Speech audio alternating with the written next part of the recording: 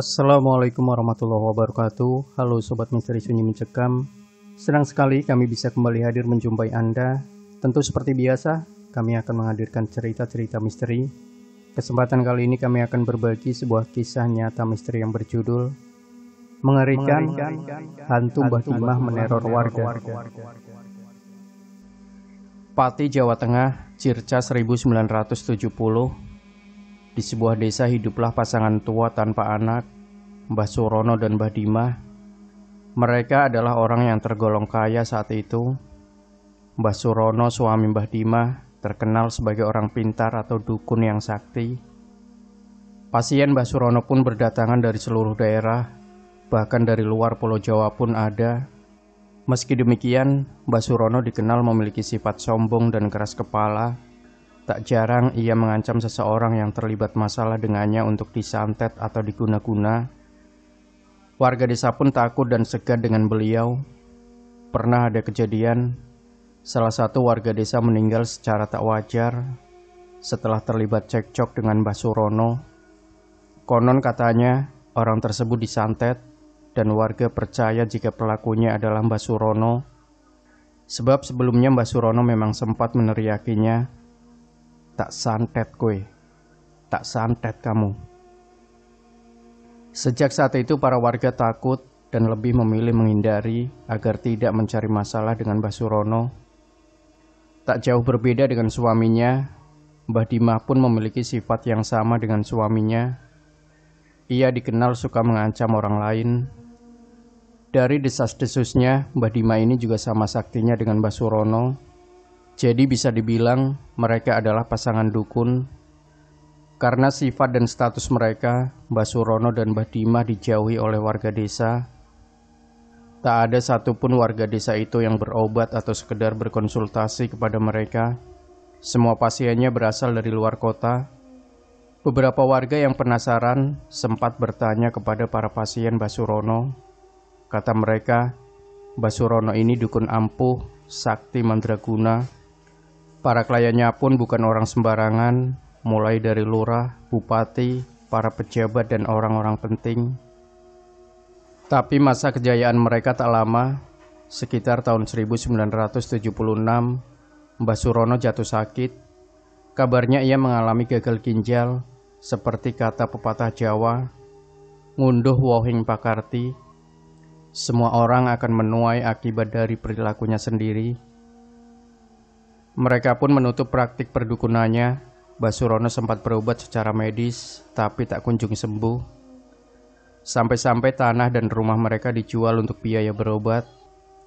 Berselang satu tahun kemudian, yakni tahun 1977, Mbah Surono tutup usia. Sepeninggal suaminya, Mbah Dimah tak lagi tinggal di rumahnya yang megah karena sudah terjual Kini Mbah Dima hanya tinggal di gubuk berukuran 2 kali 1 meter sebagai harta satu-satunya. Rumahnya itu berada di pinggiran kebun tengah desa dan di sinilah cerita Mbah Dima dimulai. Berbulan-bulan sepeninggal suaminya, Mbah Dima jarang keluar rumah. Para warga pun acuh mengingat sifat dan perlakuannya ke warga dahulu. Meskipun sempat terbesit rasa kasihan, Lambat laun warga mengetahui kalau Mbah Dimah kini mengalami gangguan jiwa. Di suatu sore, sekitar tahun 1978, Mbah Dimah dengan keadaan telanjang bulat keluar menghampiri warga yang tengah berkumpul. Ia membawa seekor kucing yang sudah mati, lalu menawarkan kepada warga untuk membelinya. Sontak para warga yang ketakutan lantas membubarkan diri. Sejak itu, Mbah Dimah dikenal sebagai orang gila di desanya.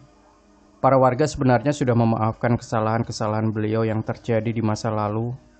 Tak jarang mereka patungan untuk sekedar memberi makan Mbah Dimah. Anehnya, Mbah Dimah ini mempunyai kebiasaan suka menumpang mandi di jeding atau kamar mandi milik tetangganya di malam hari. Pada zaman itu rata-rata kamar mandi memang letaknya berada di luar rumah, terpisah dari rumah utamanya jadi jika mereka ingin mandi atau sekedar buang hajat, maka harus keluar rumah dahulu. Terkadang Mbah Dimah mandi pada pukul 12 malam. Ia sering buang air besar sembarangan tidak pada lubangnya atau bahkan tidak disiram sama sekali. Hampir semua kamar mandi warga desa itu sudah pernah dimasuki Mbah Dimah. Dan yang paling menjengkelkan adalah Mbah Dimah suka buang air besar sembarangan meskipun di kamar mandi tidak ada klosetnya. Beberapa warga sampai ada memasang gembok di setiap kamar mandinya agar tidak dimasuki oleh Mbah Dimah. Pernah suatu hari Mbah Dimah mengulangi kebiasaannya, ia buang air besar di kamar mandi umum di kamar mandi itu ada bak air besar yang biasanya dipakai untuk menampung air mandi dan Mbah Dimah malah buang air besar persis di dalam bak mandinya. Sontak para warga yang mengetahui kejadian itu marah besar. Mereka yang selama ini selalu mencoba bersabar, akhirnya tak tahan lagi. Akhirnya Mbah Dimah dimarahi orang satu desa. Ada warga yang bahkan sampai nyeletuk, Mbah Dimah dibakar saja. Dan ada warga lain yang juga menyaut, ia dibakar saja. Terang saja Mbak Dima ketakutan, ia menangis dan meronta. Tapi anehnya, dengan keadaan bertelanjang bulat, Mbah Dima berdiri dan menggeram seperti orang kesurupan. Ia lalu menggigit, maaf, payudaranya sendiri sampai terkelupas, lalu berlari pulang ke rumahnya. Sejak saat itu Mbah Dima tak terlihat lagi, Hingga sekitar satu bulan kemudian, para warga yang terus bertanya-tanya mengenai keadaan Badima mencoba mengecek ke rumahnya. Saat masuk, mereka mencium bau busuk yang tak sedap. Mereka menemukan Badima sedang menggigil kedinginan. Badannya demam, dalam keadaan bertelanjang bulat ia tertelungkup di bilik kamarnya. Sepertinya payudara yang tempo hari digigitnya mengalami infeksi Atas persetujuan warga, Mbah Dimah dibawa ke bidan desa setempat. Namun karena lukanya sudah terlampau parah dan membusuk, ia dirujuk ke rumah sakit. Setelah dua hari menjalani perawatan, Mbah Dimah meninggal dunia. Jenazahnya pun diantar pulang untuk dimakamkan. Saat pemakaman berlangsung, terjadi hal ganjil. Setiap kali jenazah Mbah Dimah diturunkan ke liang lahat, entah kenapa selalu kurang panjang Lubangnya sudah coba dilebarkan lagi, tetap kurang panjang. Itu dilakukan hingga berkali-kali. Akhirnya, jenazah Mbak Dima dimakamkan dengan kepala sedikit ditekuk. Setelah pemakaman selesai, warga memutuskan untuk membersihkan rumah Mbah Dima. Di sana mereka menemukan barang-barang yang aneh seperti tulang-tulang hewan dan bangkai kucing yang sepertinya baru beberapa hari lalu mati. Mbah Dimah memang dari dulu dikenal suka memelihara kucing. Setelah rumahnya bersih, para warga pun melanjutkan aktivitas seperti biasa. Tapi, tiga hari setelah kematian Mbah Dimah, teror itu dimulai.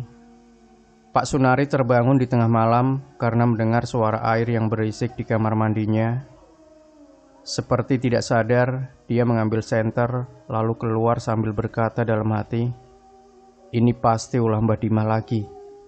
Sambil menyeroti senternya, Pak Sunari mengambil sebuah batu lalu melemparkan ke atap kamar mandinya sambil berteriak, "Pergi tidak kamu!" Duar.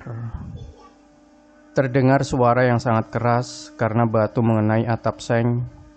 Terlihat Mbah Dimah keluar tergopoh-gopoh sambil cekikikan. Ia lalu berlalu dan hilang di kegelapan malam. Baru beberapa saat kemudian Pak Sunari tersadar, "Loh, Mbak Dima kan sudah mati. Dengan panik Pak Sunari buru-buru masuk ke rumahnya. Keesokan harinya Pak Sunari cerita ke warga dan ternyata ada sekitar 4-6 orang yang mengalami kejadian serupa. Mereka juga awalnya seperti tak sadar jika Mbah Dima sudah meninggal.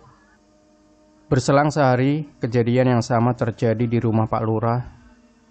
Bedanya, kamar mandi Pak Lurah adalah kamar mandi dalam di mana orang luar tidak bisa sembarangan masuk.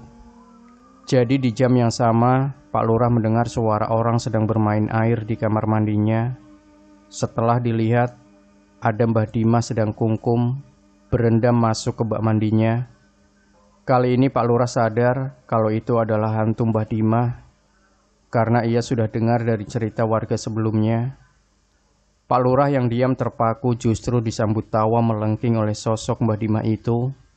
Seluruh badannya berada di bak mandi, hanya tersisa wajah dan kepalanya di atas air. Kejadian mistis itu terjadi hingga tujuh hari berturut-turut. Hampir semua kamar mandi warga didatangi Mbah Dimah. Warga mulai berpikir, apa mungkin karena beliau tidak pernah didoakan ya? Masalahnya, warga desa tidak ada yang tahu apa agama Mbah Dimah. Mungkin kejawen. Atas saran sebagian besar warga, Mbah Dimah didoakan dengan cara Islam. Malamnya para warga mengadakan acara tahlilan di makam Mbah Dimah. Menurut kesaksian warga yang hadir, saat sedang tahlilan, semua orang yang ada di sana mencium bau busuk, persis seperti bau saat Mbah Dimah ditemukan di rumahnya dalam keadaan demam. Setelah tahlilan, ternyata gangguan-gangguan itu tetap ada. Hantu Mbah Dimah bergentayangan mengganggu warga, sampai-sampai kalau tengah malam terdengar suara di kamar mandi, warga memilih diam ketakutan. Cerita tentang hantu Mbah Dimah ini menghebohkan seantero desa bahkan tersiar sampai keluar kota, sampai akhirnya terdengar oleh seseorang yang mengaku sebagai teman seperguruan Mbah Surono. Saran beliau, makam Mbah Dima harus dipindahkan ke bekas rumahnya. Para warga pun menuruti saran itu. Rumah Mbah Dima diratakan dengan tanah, lalu jenazahnya dipindahkan ke bekas rumahnya. Dan memang benar, setelah itu teror hantu Mbah Dima sudah tak ada lagi. Demikian Sobat Misteri Sunyi Mencekam, jangan lupa berikan komentar Anda, like, share video ini, subscribe channel Sunyi Mencekam, dan kembali nantikan cerita-cerita misteri terbaru dari kami. Wassalamualaikum warahmatullahi wabarakatuh.